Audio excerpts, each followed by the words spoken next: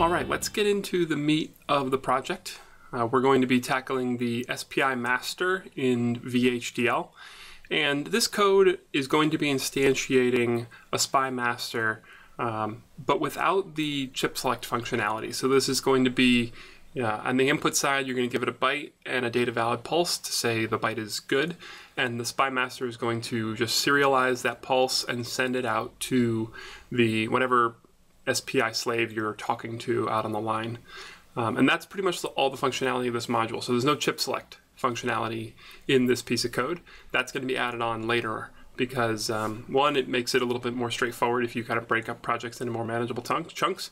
And two, um, not everything needs a chip select. So this is just a little more efficient if your application doesn't need a chip select for whatever reason. Now, if you want to look at this code, uh, you can go to github.com forward slash nandland, N-A-N-D-L-A-N-D, and then click on the SPI-master, or just go to nandland.com forward slash SPI-master, and you can get at the code there. And if anything changes, uh, that that's going to have the latest stuff. So, GitHub is nice. Um, and there's also a Verilog version of it too, but this one, this video is talking about VHDL. So let's get into it. All right. Here is the SPI master. There's some descriptions at the top. Um, it sends one byte at a time out on the MOSI line. Uh, it also receives byte on the MISO line. And in order to kick off the transaction, you have to send a data valid pulse, and it will serialize uh, ITX byte. There's also this OTX ready line, which is an output of this module, which tells whatever is sending data that it's it's got some availability, and that goes low, meaning not available, when it's busy. And this does support all four SPI modes, which is kind of a pain to have to support those. Um, like I said, that's kind of the, one of the things I don't like about SPI is they couldn't just have picked one mode and stuck with it. They went and did four, so it, it adds some complexity in the SPI master to try to support all that, but uh, I think I got it figured out, so that's good. Um, the other parameter, so that's one of your generics as an input, your SPI mode that you want to operate in. And then the other one is your clocks per half bit. And this the purpose of this is to set the frequency of the SPI clock. So the SPI clock is derived from your I clock, your input clock, and it's a lesser frequency than your input clock has to be. Um, must be greater than or equal to 2 for that number, so clocks per half bit greater than or equal to 2 in order to make this work. So for example, if you set it equal to 2 and you have a 100 megahertz input clock, and um, this is this generic is equal to 2, then your SPI clock is going to be 25 megahertz. Effectively divide by 4. Okay, so for the entity, this is what it looks like.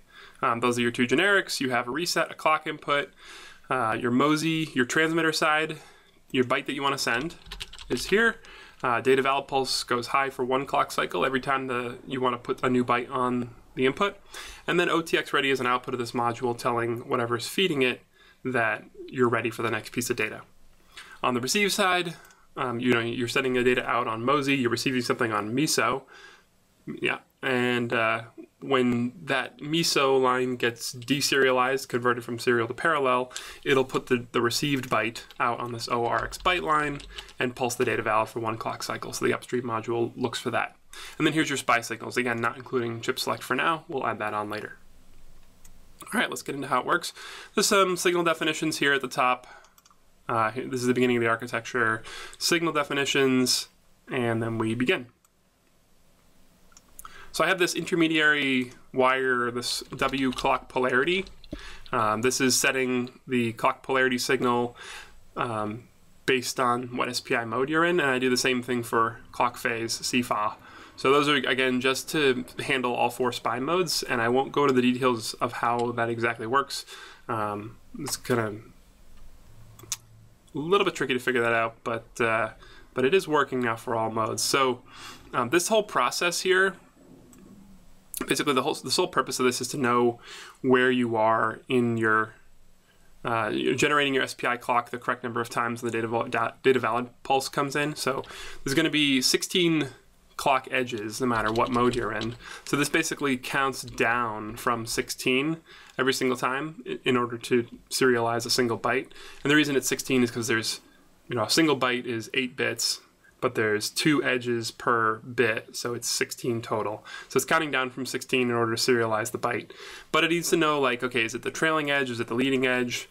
Um, what, what does it care about? And that's uh, so it's generating pulses for trailing and leading edges so that further on when you're using the, the SPI modes, it's able to know when to send the next the next byte out, when to make the clock go high, things like that. Like even here, um, SPI clock. By you know when, when I reset when you reset it, it resets the SPI clock to whatever the clock polarity is. So if clock polarity idles high or idles low, this will take care of that there. And so you have a SPI clock being generated. And when you when you send a this is something I usually do in all of my code. So whenever I have like an input being pushed into a module, uh, it's like a, like a byte, for example, and a data valid pulse that corresponds with that byte that tells the module that this byte is good now. I always register it, you know, resample it, if you will, inside of the module itself. That's what I'm doing here. So if I if itx data valid equals one, rtx byte gets itx byte, and this rtx byte is just an internal signal.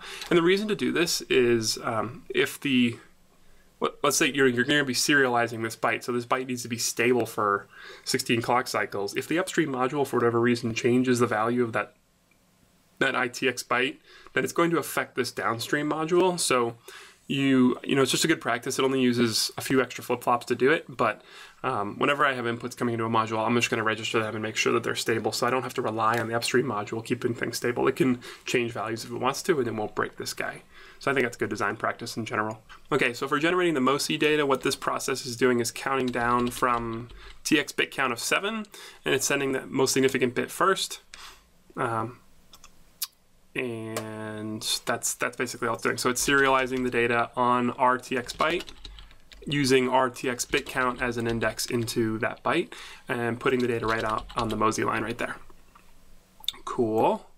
All right, so now we're going to be reading in data from the slave. So this is the MISO process here. And again, the handling of the whether or not it's a leading edge and what mode you're in is the complexities associated with some of this stuff. Um, but basically, you know, you have an RX bit count similar to your TX bit count. It starts at seven, and you count down to zero. And every time you get a new uh, piece of data on MISO, you sample it and you put it into your ORX byte, at the appropriate index. And when you're done, you just pulse the data valid pulse with one clock cycle. This is something uh, worth maybe worth talking about where the synthesis tools are smart enough now that you know you can put a default assignment early on in a process, and if it gets overridden later on in the process, uh, like right here, for example, then it'll set the it'll set that just to a a one clock wide pulse for the for the one time that it's overridden. So I usually do this for like data valid pulses where by default you want data valid to be not data valid, except for the one clock cycle where you do want it to be data valid, which is right here. Handy trick.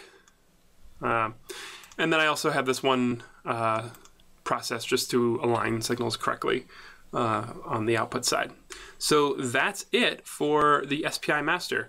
In the next video, we're going to be just running through the test bench for this and simulating it and making sure that it's working correctly. Hey, I'll just wanted to jump in at the end of this video real quick to say, please check out patreon.com forward slash nandland and consider supporting me there. I would really appreciate it. It helps me cranking out these good tutorials and these videos. So if you found this valuable, uh, consider heading over to Patreon and supporting me. Keep me making good content. Uh, in addition to that, please consider getting yourself a Go board so you can actually program this code and try it out on real hardware. They're available at nandland.com. And thanks for your support.